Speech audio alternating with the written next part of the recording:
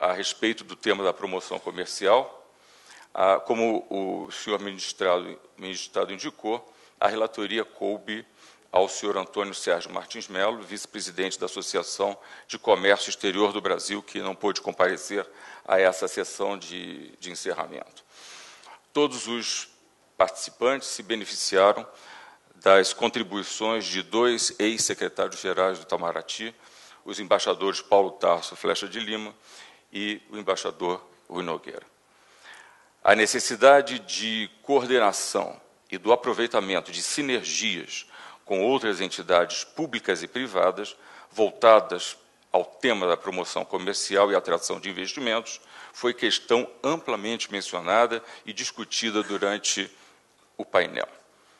A realização de eventos em parceria com outros ministérios e instituições, a realização de estudos de inteligência comercial em coordenação com a Apex e entidades setoriais, bem como o lançamento próximo de ferramenta eletrônica conjunta de promoção comercial e investimentos em cogestão com o MIDIC e o MAPA, são exemplos de que o Itamaraty reconhece essa necessidade e empreende esforços para atendê-la. Os diálogos de política externa também foram importantes para o conhecimento dos desafios enfrentados pelo empresariado brasileiro para aumentar e agregar valor às suas exportações. A dificuldade na obtenção de financiamentos e garantias, o excesso de burocracia e a existência de diversas barreiras tarifárias e não tarifárias foram apontados como fatores que prejudicam o aumento das exportações brasileiras. Na vertente acadêmica, apresentou-se, nesse sentido, pesquisa que aponta o ranking das multinacionais brasileiras com avaliação sobre os impactos da política externa no processo de internacionalização dessas empresas.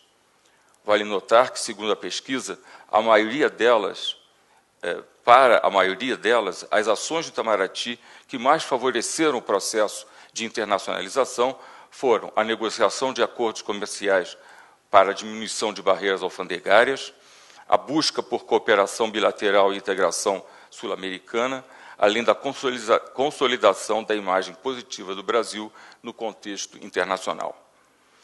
As oportunidades atuais para o aumento das exportações brasileiras, para a atração de investimentos diretos estrangeiros e as novas possibilidades abertas com a exportação de serviços também foram citadas como fatores importantes para o debate. Reconheceu-se, ademais, a premência de ampliação da cultura exportadora junto às micro e pequenas empresas brasileiras. Foi destacada a necessidade de aumentar o número de empresas nacionais exportadoras, rompendo o ciclo historicamente restrito a empresas de maior porte. O estabelecimento de políticas de incentivo à exportação deveria, segundo os participantes, voltar a incluir a definição de metas e a organização de campanhas voltadas para a retomada do ímpeto exportador, ressaltando a importância da atividade para o desenvolvimento do país por meio da criação de novos empregos e pelo equilíbrio das contas públicas. Por outro lado, foi notada a evolução da imagem do Brasil junto aos mercados estrangeiros nos últimos anos, tendo incorporado os conceitos de conhecimento, pesquisa e desenvolvimento e inovação. Reconheceu-se a importância da indústria de defesa brasileira por conter tecnologia sensível e impulsionar o desenvolvimento de toda a cadeia industrial brasileira. E ressaltar-se os recentes avanços na legislação e a definição de isenções tributárias. No entanto, os desafios ainda são grandes, em especial devido ao baixo investimento em pesquisa e tecnologia na área. Ademais, Destacou-se a importância das exportações para que a indústria de defesa obtenha ganhos de escala e o papel do Itamaraty é essencial nesse processo, dada a natureza também política e não apenas comercial das negociações nesse setor. Especificamente quanto ao agronegócio, enfatizou-se o fato de ser o Brasil o maior exportador líquido de produtos agrícolas e de ser o, agro, o agronegócio o maior impulsor da balança comercial, o que reforça a necessidade de uma política de comércio exterior consciente da necessidade de explorar novos mercados e de defender posições sólidas nas praças tradicionais. Ademais, a diversificação da pauta agrícola e a agregação de valor aos bens primários brasileiros são essenciais para o desenvolvimento do setor. Nesse contexto, dois temas deveriam ser prioritários: a cooperação, que é início de uma relação comercial, e o trabalho de conscientização do investidor para que este possa ver o Brasil como um destino atraente. Nas áreas de investimentos e internacionalização de empresas, foram identificados obstáculos para o desenvolvimento da área. O tamanho do mercado interno brasileiro, por exemplo, inibiria a disposição da internacionalização de empresas.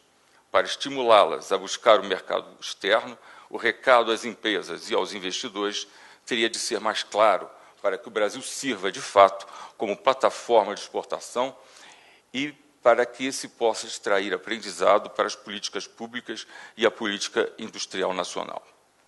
Senhor Ministro, as restrições orçamentárias enfrentadas pelo Itamaraty e por outras entidades também foram apontadas como óbices a serem superados com vistas ao melhor desenvolvimento das atividades de promoção comercial do Brasil, sempre prezando pela busca de sinergias entre iniciativas planejadas. Finalmente, foi ressaltado que o Itamaraty segue a visão de manter-se como uma instituição de notoriedade nacional nas ações de promoção comercial, contando com a capilaridade de sua rede de setores de promoção comercial no exterior e prestando serviços públicos com excelência e efetividade ao impulsionar intercâmbios mutuamente benéficos e solidários junto a países com os quais mantém relações comerciais. Senhor Ministro, estes são os relatos que me couberam. Muito obrigado.